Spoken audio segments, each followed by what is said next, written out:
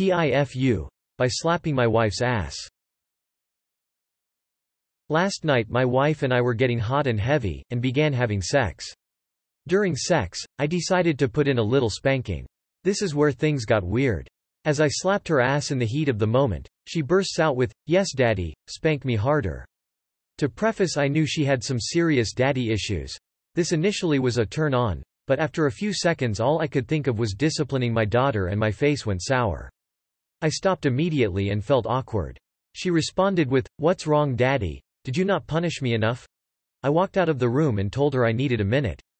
Now I don't think I can ever have sex again. TLDR slapped my wife's ass, called me daddy.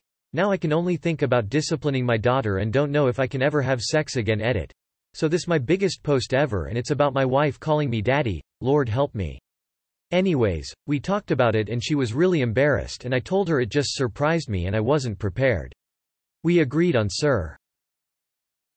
Ask her to not call you daddy. Master in BDSM, or something similar. She could try calling you Steve if it helps. You slapped a whole new personality out of her.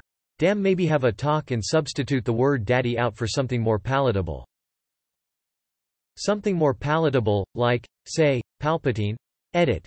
Thanks for making this my most liked and awarded comment while I slept. Sounds like you need to have a conversation about it later because she's probably hella confused and potentially thinking she is the problem.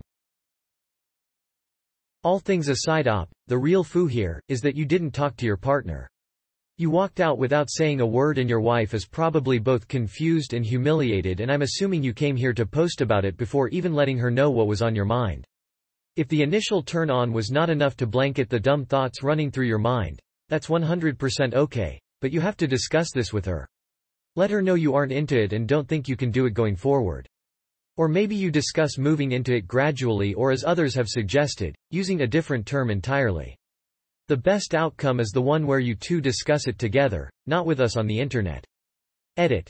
I know everyone hates these, but thank you to everyone. For your awards, and your comments, even all the ones who did not agree with me.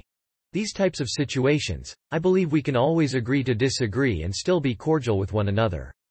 I spoke to this as someone who's been from a similar situation and though I missed where he mentioned saying he needs a minute, some things are time sensitive and you may just have to.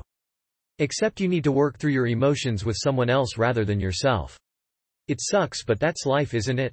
Sometimes you don't get time. Anyway, I've rambled on far too long. Take it easy Reddit, I wish you all the best. Tell her you only respond to El Conquistador.